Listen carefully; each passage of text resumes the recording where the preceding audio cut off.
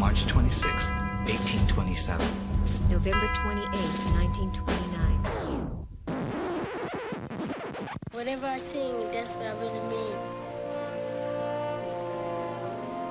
Like I'm singing a song. I don't sing it if I don't mean it.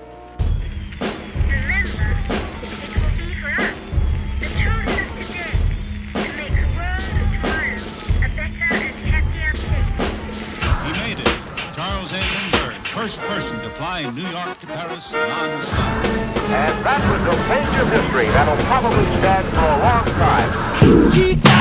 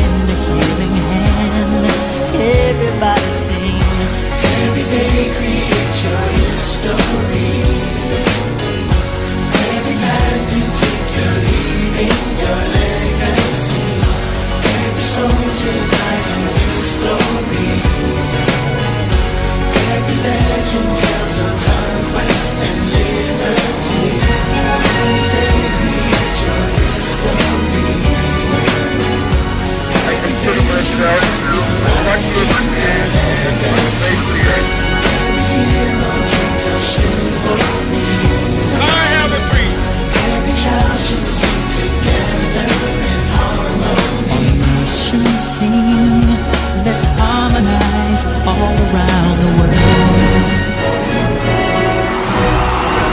I am happy to with you today in what will go down in history as the greatest demonstration for freedom in the history of our nation.